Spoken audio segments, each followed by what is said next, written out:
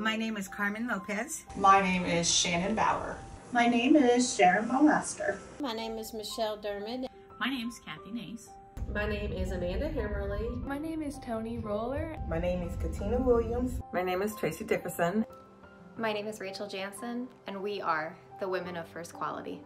My advice to women considering a career in manufacturing is don't hold yourself back. This is a great career choice for women filled with opportunities. I think that manufacturing is for everyone. Manufacturing is often looked at as a man's world, and women need to change that perspective. For the longest time, women were underrated, thinking that, oh, they can't do a job in manufacturing, that's a man's job. Um, that's totally false. It's such an empowering experience to be a woman in this role in manufacturing. Women have the ability to do anything that they want to do. We deserve to level the playing field. We are strong women. It doesn't matter whether you're a man or woman, young kid, older person, it doesn't matter. We're the women of tomorrow. What better way for young women to break down the gender barrier for other women?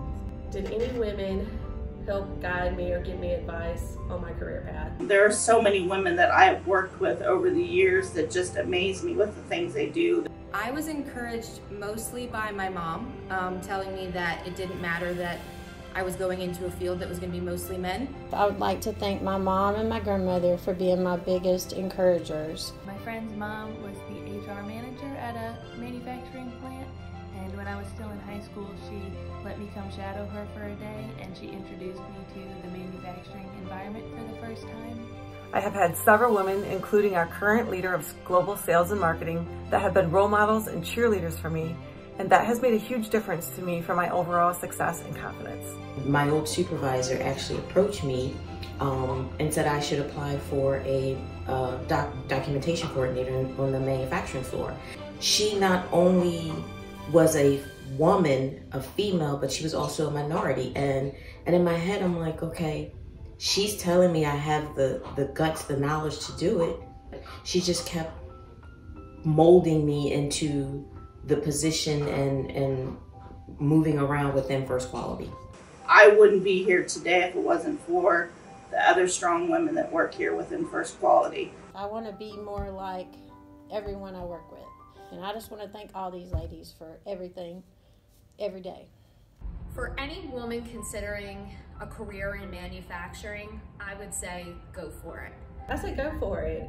Don't give up. Do not be afraid. Shoot for the stars. Do whatever you like. Don't be discouraged because you're a woman. If you want to go into manufacturing, if you want to be an auto mechanic, but follow your path. Go out there and go after what you want to pursue, and chances are you can find that in manufacturing. It may look like it's hard, but when you put your foot forward, you can do it. You should give it a shot because I never thought I'd be working in manufacturing and now I don't see myself doing anything else. And it has literally been the best job I've ever had. Here I am now, fulfilling my, um, what I call my destiny.